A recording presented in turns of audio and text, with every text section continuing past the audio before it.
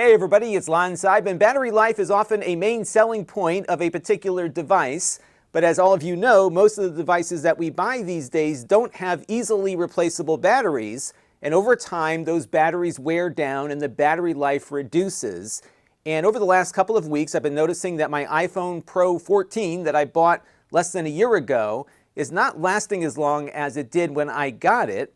And sure enough, when I jumped into the battery health section of my settings here, my battery is now at 89%, and it's been losing about 1 or 2% every two weeks or so. So my batter- battery is basically on the decline here. And I thought it was just me, but today I also saw a tweet from Tech Daily, a fellow tech YouTuber, and his battery on his 14 Pro that he got around the same time that I did is also in a similar state of decline. And I wanted to talk a little bit about this today and also show you how you can find out exactly what your battery health is looking like so you can determine whether or not you've got a problem that Apple will fix or one that you're just going to have to live with. We got a lot to look at now, so let's dive into it. So let's take a look at what Apple's definition of a functional battery is. If you go to their iPhone battery and performance page, what you will see is that they rate the battery to retain 80% of its original capacity at 500 complete charge cycles when operating under normal conditions. And your phone comes with a one year warranty, which of course you can extend with Apple Care. And the other thing that's important to know is what a charge cycle is. Basically, this is how many times the battery has been completely drained and recharged.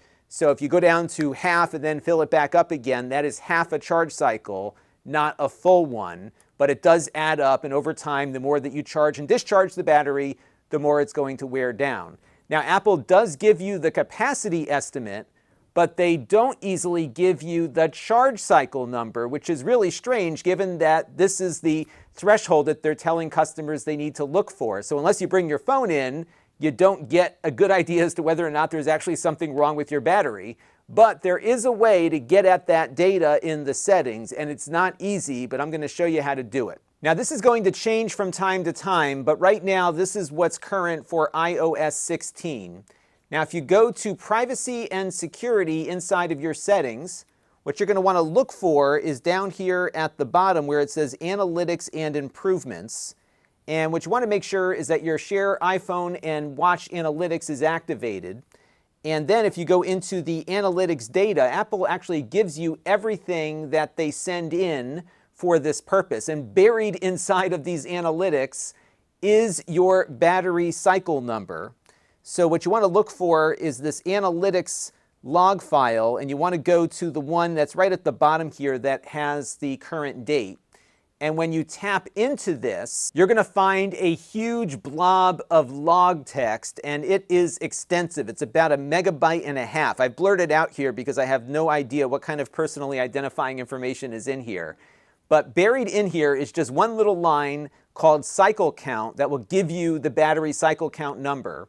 Now, if you don't have a Mac, what you could do is grab the text here to select all of it and copy it into the iPhone's Notes application, and there you can do a search for cycle count. I was looking on my computer screen here for the exact words. Cycle count, one word, and it will give you the number, which I'll show you on my computer screen here in a second.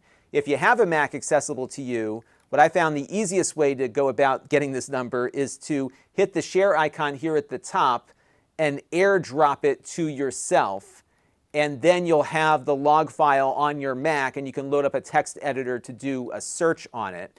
And when you do, you'll find your cycle count number. So as you can see here, my cycle count currently is 329. So my battery health is 89% and my cycle count is 329, not 500. So if I went into the Apple store complaining about battery life, they're going to send me away unless I want to pay to replace the battery because I have not yet met the threshold for a battery that is running below its expected performance level. Now, I have been doing an unofficial poll of my other friends who have iPhone 14 Pros, and some of them are not having the battery problems that I'm having, but some are. And if we go back to uh, Tech Daily's tweet here, he posted a follow up and mentions that he's been charging his phone mostly via MagSafe, which is Apple's wireless charging adapter. And I too have been charging wirelessly with Qi chargers. I've got these things all over the place. I got one here, I got one on my desk over there, I've got one on my nightstand, and I love the flexibility of just putting the phone down and having it charge while it's resting on a desk. But as you all know, the phone gets really hot when you put it in one of those things, and I'm wondering if the heat generated here is reducing the battery longevity, especially because I use wireless charging as my primary charging method.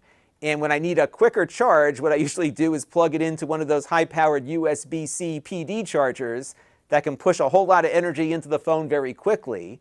And that also generates a good amount of heat. So I think those two factors might be leading to where I am at right now. And I'm guessing all of this analytics data that Apple collects from these phones is telling them where the threshold is to get these phones to that 80% mark around the time the warranty ends so that they don't have to do all these battery replacements. And I think that's what's going on here. So they can offer you all these cool charging features even though they kill the battery. And it looks as though everyone who's charging quickly or is charging wirelessly is having some of the same problems that I am here. And of course, the biggest challenge is that it's not cheap to swap out this battery especially when you're a year and a half or two years out and your carrier offers you a great deal on a new phone. Now, a couple of weeks ago, we heard that the European Union is going to start mandating that phones have user replaceable batteries. And by the way, it's not just Apple that has a battery that is hermetically sealed inside of their phone. It's most manufacturers these days who don't let the user very easily swap out batteries. But if this mandate goes through, it's possible that we might see some more flexibility here. And I don't know about you, but a lot of the people in my life often get new phones because the battery stops charging, even though the phone is perfectly functional. And what's really crazy is that the $30 phone you can buy at Walmart has a user replaceable battery and a headphone jack, but your $1,200 iPhone doesn't, right? So this might change some things and perhaps give users more flexibility in being able to buy a battery two years out and get pretty much their phone back to the way it was when they first bought it and it's certainly a lot less to recycle a battery than it is to recycle an entire phone. And I think that's what the European Union is after here. But what I want to do is hear from all of you in the comments section because I'm really curious to see where your batteries are at right now on your iPhones and your Android phones. And let's see if there's any correlation between wireless charging and fast charging and battery longevity because I suspect that might be what's going on with this phone, but it's all anecdotal at this point and I would love to get some more data from all of you. That's going to do it for now. Until next time, this is Lon Seidman. Thanks for watching. This channel is brought to you by the Lon.TV supporters, including gold level supporters Brian Parker, Chris Allegretta, Hot Sauce and Video Games, Logic KGR, Tom Albrecht, and I'm the Brown. If you want to help the channel, you can by contributing as little as a dollar a month.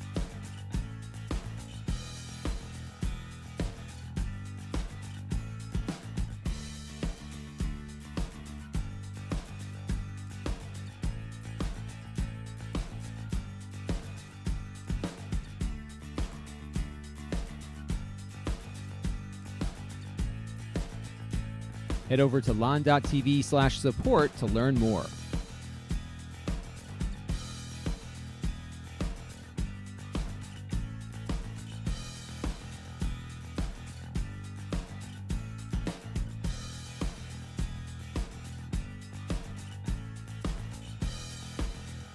And don't forget to subscribe. Visit lon.tv slash S.